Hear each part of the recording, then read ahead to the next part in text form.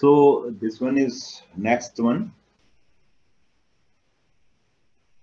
Uh, the outline of population growth is like that. The introduction part, the population scenario in developing countries uh, and developed countries scenario and uh, continent, continent-wise population growth, trends of population growth, that is trends of population growth in India particularly. And finally, the effect of population growth, basically on environment and health.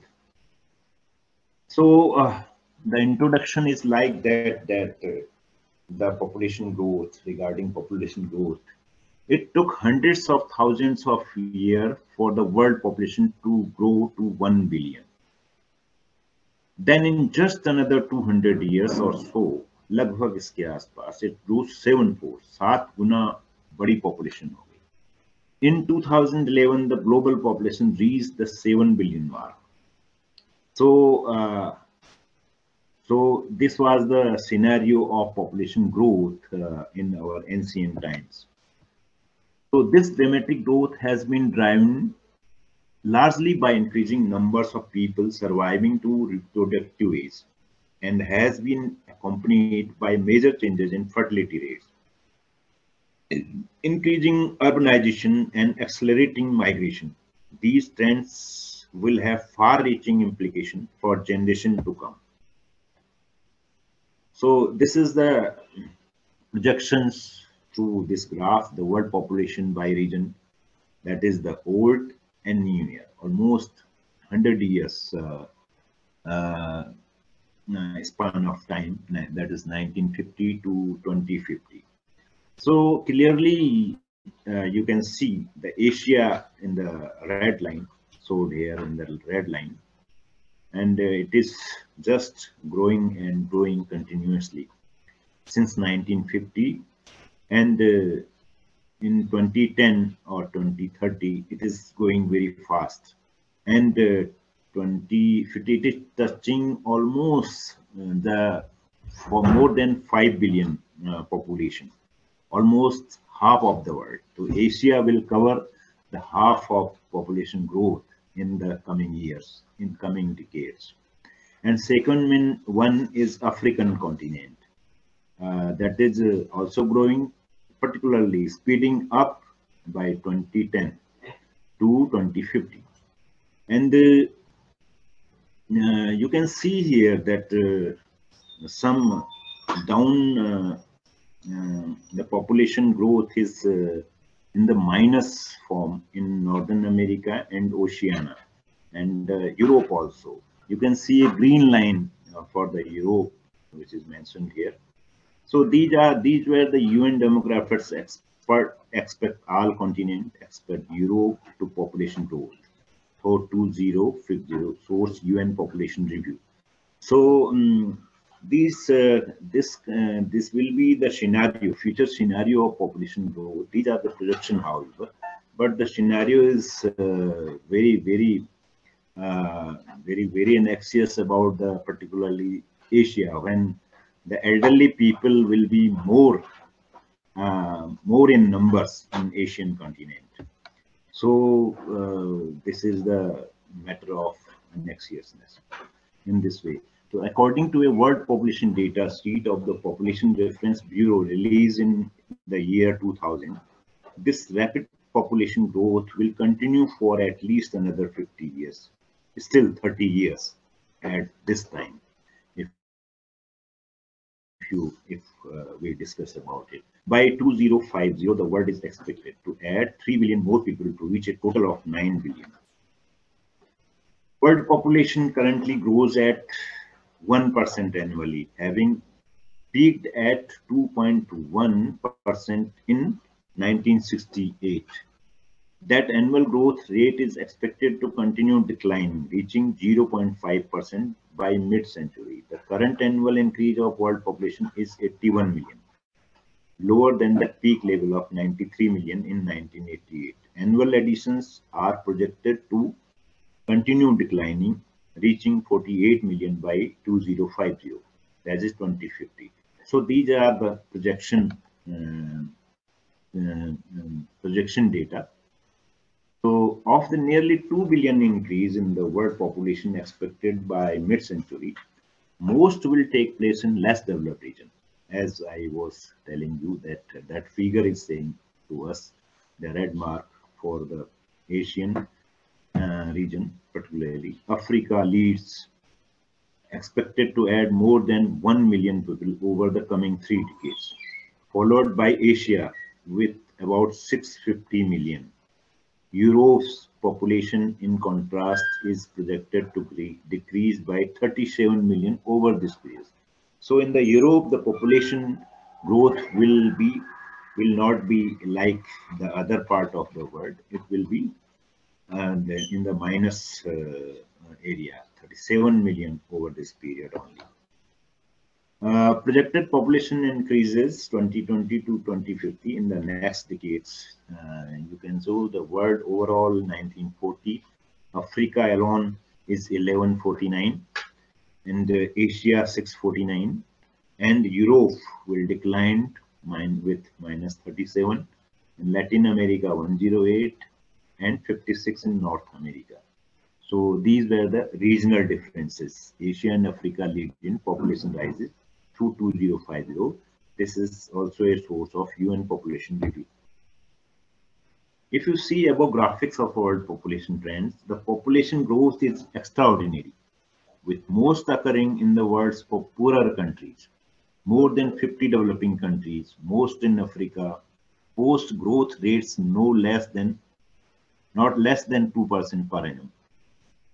By mid-century, about half of those countries are projected to see their population more than double, including uh, very poor countries. These are Angola, Burkina Faso, Democratic Republic of Congo, Mozambique, Niger, Nigeria, Tanzania, and Uganda in South African continent. At the same time, some 20 um, countries, particularly more developed countries, navigate uncharted demographic territory of population decline and rapid aging. These include Greece, Hungary, Italy, Japan, Poland, and Spain. The, this number could nearly triple by mid-century and expected newcomers to population decline will soon include China, Germany, Russia, and South Korea also.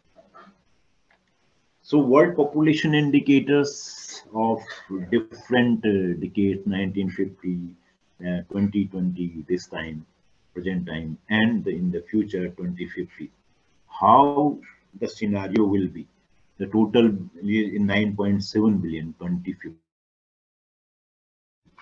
and the annual growth rate will be at that time 0.5 currently it is 1 percent.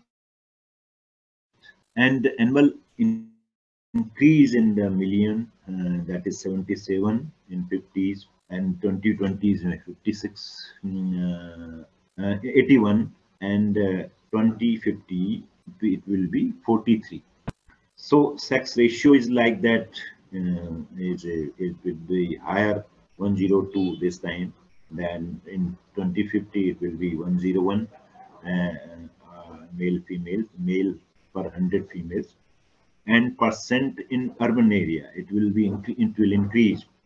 Uh, like that we were uh, the, the the the urban areas were 30% only in 1950 and it is currently it is 50% on an average in the world and future in the future the 68% so we are going to live in more urban areas in the future. And life expectancy expectancy at birth in the areas is 47 it was in 1950 and 73 currently this is the current time 2020 and uh, in the future 2050 it will be 78 more than five years than this time. So infant mortality deaths um, uh, oblique 1000 births that will be in 1950 uh, 140 and uh, currently it is 29 per thousand. And in the future almost half than today that will be 15%. Total fertility rate births per woman, if we uh, refer this, the birth uh, per woman is 5 uh, in 1950 and 2.4 in current current years. Current decades, and 2050 in the 2.2 uh, births per woman. So percent uh, under 15 years, that is the adolescence age or children and adolescence. The, the, the, the share will be, in, the share was earlier in 1950, it was 34%. And in 2020, almost one fourth, that is 25% and it will somehow decrease will decrease 2050 and 21 percent and it will change over to elderly population will increase percent 65 years and older like that. Uh, uh, five uh, only in 1950 because the life expectancy was very less that time. And in 2020 this is seven percent seven um, uh, this is uh, almost nine percent not seven. So 16, it will increase up to 16% in 2050 as I earlier slides I have uh, discussed about it. So the potential support ratio uh, between 1564 per 65 years. The potential support uh, means uh, you can say the family dependency with the younger people will be that was earlier very good number 12 people 12 uh, person and this time it is 7 it will less in the future that is 2050 only 4 total immigrants this is very challenging uh, problem of the world. The immigrants in the various countries are going to uh, uh, everywhere moving to everywhere. So 72 it was very less in 1950 and uh, it will be current time this is very high 2022 75 million.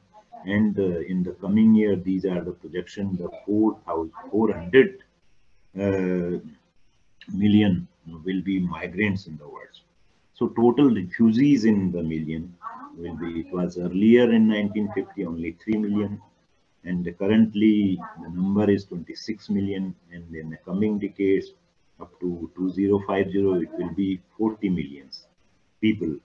So these are the um, the source uh, with the United Nations Population Division and uh, um, United Nations uh, um, 19 United Nations Migration Agencies and Human Rights Agencies of 1960.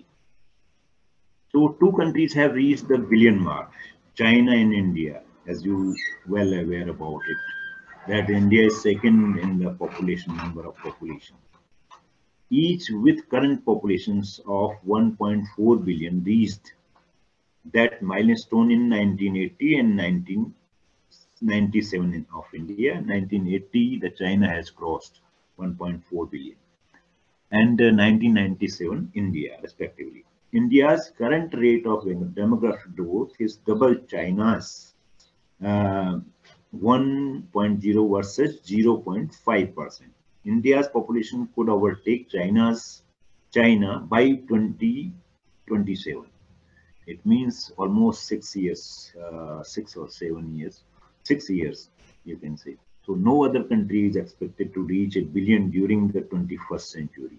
So we are, we will be the leader in population growth, India and China. International migration has increased in recent, uh, recent years. As the chart was discussing, the more immigrants will be in the world. With about 275 million people, or slightly more than 3% of the world population, residing outside the country of their birth. In addition, war, violence, and prosecution drove the forced displacement of people displacement of people worldwide to another new high of 71 million at the end of 2018, just three years ago. Among them were 41 million internally displaced persons, 26 million refugees, and 4 million asylum seekers, like the Syrian asylums uh, went to Europe, European countries recently. Future international migration flows will continue, including the exodus of uh, humanity desperate, taking place despite walls, barriers, guards, patrol ships, and natives' political rhetoric. governments of origin, transit, and destination countries struggle with how best to cope with unauthorized migration flows. And you uh, listened about the Donald Trump uh, will build a 18 feet height uh, um, wall between Mexico and the USA. Uh, so uh, that this is this may be example Uh, for uh, that uh, coping the these are the measures the countries are going to do.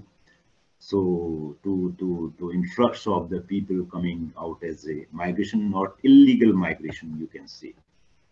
Demographic trends particularly population growth decline aging urbanization and international migration are contributing uh, to the many challenges facing humanity including food production water shortages poverty housing climate change environmental degradation human rights, civil unrest, displacement, and armed conflicts.